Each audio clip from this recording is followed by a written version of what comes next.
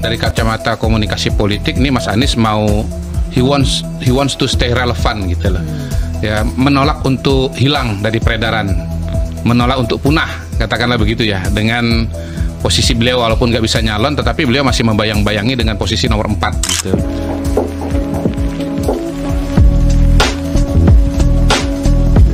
Sebelumnya kan Mas Anies juga memposting juga minggu ini juga soal supaya warga Jakarta itu tidak buru-buru menentukan pilihan Hmm. antara satu, dua, dan tiga. Iya. Minimal baca dulu visi misi program Iya. kerja mereka itu seperti Betul. apa. Jadi menurut Mas Kodari Iya. peran-perannya Mas Anies Mm-mm. meluncurkan dokumen, Iya. meminta warga Jakarta tidak buru-buru itu Iya. wajar-wajar saja ya. Wajar ya walaupun kacamatanya eh, ya dari sisi yang mana ya. Bisa aja kalau dari kacamata komunikasi politik ini Mas Anies mau he wants he wants to stay relevant gitu loh. Ya menolak untuk hilang dari peredaran. Menolak untuk punah katakanlah begitu ya. Dengan posisi beliau walaupun nggak bisa nyalon tetapi beliau masih membayang-bayangi dengan posisi nomor 4 gitu.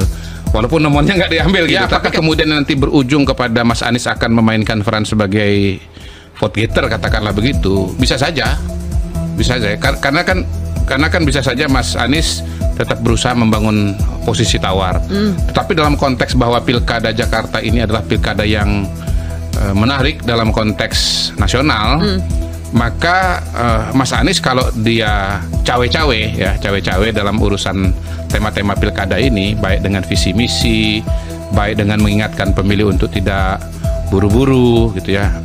Ya mungkin bahasanya akan lebih menarik kalau Mas Anies bilang ojo ke susu gitu nah itu bagus itu ojo ke susu Itu bahasa Pak Jokowi, ojo ke susu. Oh, masa Pak Jokowi ya. Bisa aja dipakai ojo ke susu. Nah, itu kalau dipakai dan ya viral dibahas oleh media tentu akan membuat nama Mas Anies tetap mengapung dalam peredaran Menurut Mas eh, Kodari- politik sekarang ini. Kenapa Mas Anies harus berusaha stay relevan? Karena menurut saya Mas Anies eh, masih punya agenda dan cita-cita Yaitu politik ke depan.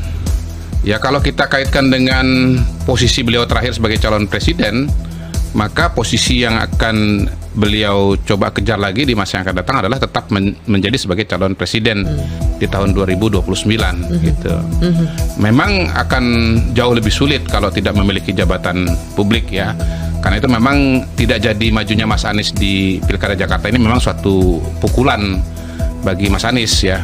Eh, pukulan telak tepatnya gitu ya bagi Mas Anies. Karena dia kehilangan panggung yang sangat-sangat strategis untuk tetap ya berada pada eh, berada pada panggung politik ya dan menjadi atensi dari publik di Indonesia, dan eh, memang pilihannya tidak terlalu banyak hemat saya salah satunya adalah dengan mendirikan Partai. partai, politik ya dan itu kan sudah dijadikan opsi juga oleh Mas Anies dan kawan-kawannya gitu loh bahwa Mas Anies melanjutkan perjuangan politiknya dengan mendirikan partai politik. Hmm. Tapi apakah dari awal prediksi Mas Kodari Mm. memang Anies itu akan sulit untuk mendapatkan tiket maju di Pilgub Jakarta? Kalau saya memang sebetulnya melihat Mas Anies susah ya. Susah pertama itu karena eh, beliau di pilka, di Pilpres 2024 di Jakarta pun juga sudah kalah. Ini kan ini kan kandangnya Mas Anies ya. Beliau boleh kalah mungkin di Jawa Tengah, boleh kalah di Jawa Timur, boleh ka- kalah di Jawa Barat, tetapi boleh kalah di tingkat nasional, tapi harusnya nggak kalah di di Jakarta karena ini basisnya Mas Anies. gitu. Jadi eh, itu sebetulnya bagi elit politik suatu indikator bahwa Anies itu tidak eh, kuat-kuat amat gitu loh. Buktinya bisa dikalahkan.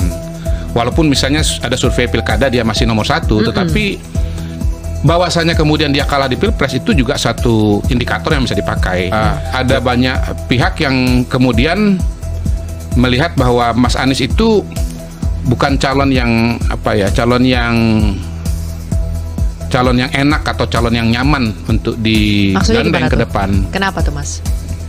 Saya kira orang melihat perlakuan Mas Anies kepada Pak Prabowo Yang bagaimana pada acara debat yang memberikan skor 11 dari 100 alias 1,1 itu gitu. Mas Anies ini kan didukung oleh Pak Prabowo sebagai calon gubernur Jakarta, dibantu dalam proses kampanye, bisa jadi calon presiden itu karena ya posisi dia di gubernur Jakarta gitu. Tetapi Mas Anies dengan enteng tanpa tedeng aling-alingan bahwa ya kinerja Pak Prabowo sebagai Menhan 11 dari 100. Habis itu dia ketawa gitu. nah, itu... Bu Mega kan Bu Mega mungkin melihat apa yang terjadi pada diri Pak Prabowo bisa terulang pada dia. Mungkin bukan cuma peristiwa itu, tetapi juga ada referensi-referensi yang lain. Tapi kan kita udah lihat Bu Mega misalnya mengatakan itu Pak Anies mau nurut nggak, misalnya kan begitu kan? Itu. Jadi, Jadi eh, hemat saya memang kalkulasi politik itu sebetulnya kalau bicara elit bukan cuma soal menang kalah, hmm. tetapi juga penilaian-penilaian pribadi atau perasaan-perasaan evaluasi-evaluasi pribadi itu sebetulnya juga berperan dan uh, berpengaruh. Oke. Okay. Gitu. Tapi sekarang apalagi terakhir uh, kemarin Mas Anies sudah mengatakan bahwa wah kita lihat dari partai politik nggak bebas dari intervensi kan gitu kan? Iya toh? Nah, kalimat itu sebetulnya menurut saya itu kalimat pemutus antara Mas Anies dengan elit-elit politik loh. Itu kalimat pemutus sebetulnya. Disadari atau tidak menurut saya itu kalimat pemutus. Jadi Mas Anies ini memang kalau dia mau maju ya di tahun 2029 sebagai calon presiden hemat saya itu nggak punya pilihan kecuali maju kecuali mendirikan partai politik. Tetapi tetapi kalau undang-undangnya masih seperti sekarang ini sebetulnya 2029 pun tertutup bagi Mas Anies. Kalaupun Mas Anies mau menuju 2022 maju calon presiden 2029, kalau aturannya seperti sekarang ini nggak bisa. Karena syarat maju calon presiden 2029 adalah hasil pemilu legislatif 2024 hmm. gitu. Jadi ya Mas Anies harus punya kesabaran revolusioner. menunggu sampai 2034 nanti gitu. Oke, kita balik itu. Itu dengan catatan ah. bahwa perolehan suara partainya Mas Anies mungkin nanti namanya apa? Partai Perubahan. Apa partai apa lagi kira-kira? Ya, partai anak abah gitu misalnya kan gitu. Itu mendapatkan suara yang signifikan di tahun 2029. Tapi menurut saya agak sulit kita melihat Mas Anies ini ke depan akan punya ruang yang besar di kalangan elit Dari, politik. Katakanlah 2029 mungkin Mas Kodari bilang peluangnya tertutup. Tapi di 2024 pada rebutan loh hmm, dukungan untuk? dari anak abah hmm. pendukungnya Anies yeah. di Jakarta itu yeah. jadi rebutan yeah. baik itu pasangan satu dua maupun tiga yeah. segitu signifikan ya pendukungnya Anies apakah mereka bisa menjadi game changer yang bisa memberikan kemenangan buat paslon 1, 2 maupun 3? Ya kalau lihat hasil surveinya dari Jaya Dihanan ya, mm -hmm. itu akan jadi game changer, bisa berpotensi bukan bukan akan ya, berpotensi mm -hmm. menjadi game changer bagi paslon uh, Rano Karno dan mohon maaf saya ingatnya Rano Karno ya. Pramono Rano. Oh, Pramono Rano. Ini Mas Anies memberikan dukungan kepada dua nama itu, maka mereka mendapatkan suara lonjakan suara. Mm. Tapi belum mengubah posisi pemenang, belum mengubah ranking. Ranking satunya tetap uh, calon yang didukung oleh Nasdem yaitu Ridwan Kamil dan Susono. Jadi belum mengubah komposisi pemenang. Dia game changer kalau dia mengubah komposisi pemenang. Nah, kalau kalau Anies memberikan dukungan ke, kepada Ra, Ra, kepada Ridwan Kamil dan Suswono itu naiknya dikit aja. Jadi nggak signifikan secara secara statistik gitu.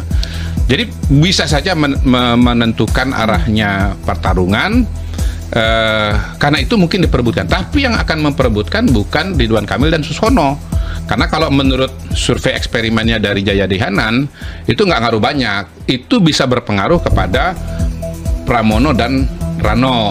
Gitu. Jadi kalaupun misalnya berusaha ditarik, hemat saya yang berkepentingan untuk menarik itu adalah pasangan Pramono dan Rano. Tapi kan bukan mustahil juga misalnya menarik ah. kalau misalnya Anies ternyata mendukung pasangan Dharma Pengerkun dan bisa aja. Kun Wardana. Bisa jadi. Bisa aja. Uh, sebetulnya Mas Anies tuh perlu tidak menunjukkan sikap atau keberpihakannya kepada pasangan mana itu secara terang-terangan itu akan menjadi memberikan dampak positif atau negatif buat Mas Anies yang pastinya yeah. kan ya. pendukung-pendukungnya ini adalah ya yeah, pasti kecewanya betul, dengan betul. partai koalisi pendukung betul. satu partai betul. koalisi pendukung betul, dua eh betul. Mas Pramrano itu nomor tiga nomor tiga ha -ha. pasti kan ada kecewanya nih anak abah ini kepada partai-partai koalisi pendukung Ridwan Kamil dan Suswono dan juga Pramrano ya kalau Mas Anies sendiri menurut saya dia harus melakukan kalkulasi politik dan mungkin sedang melakukan kalkulasi pada hari ini. Hmm. Di satu sisi kalau uh, beliau mendukung Pramono dan Rano, uh, tentu PDI Perjuangan dan Bu Mega akan senang ya. Mungkin Bu Mega hatinya akan terbuka tuh.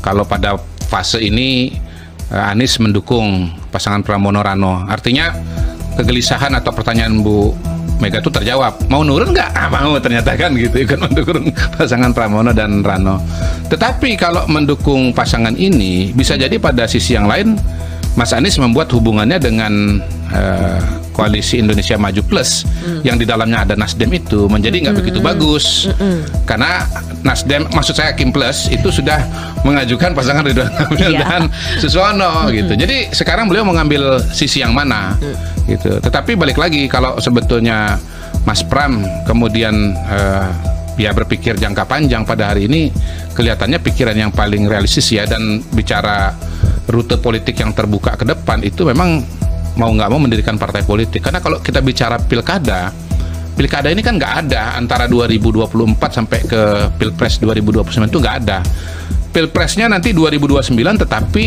setelah setelah pilpres pilkadanya itu kayak sekarang ini hmm. misalnya nih ya pilpresnya nanti Februari 2029 hmm.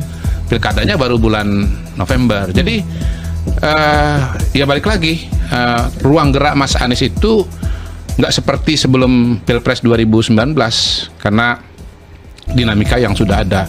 Belum lagi kalau ada kalau nanti ternyata Mas Anies misalnya mendukung Pramono Anung dan Rano Karno lalu kalah gitu. Hmm. Maka orang akan mengatakan oh ternyata pengaruh politik Anies memang sudah menurun gitu atau sudah menghilang. Jadi bisa saja serba salah ya? Iya karena itu bisa saja beliau tetap tidak akan menentukan pilihan secara terbuka dan menyerahkan kepada anak abah dan mungkin itu sebetulnya alasan dibalik kenapa Mas Anies ini merilis visi dan misinya karena itu akan jadi alat yang di yang di, di, dipatok oleh Mas Anies kepada para pendukungnya untuk mengambil keputusan mengenai pilihan nomor satu, nomor dua, nomor tiga atau coblos tiga-tiganya.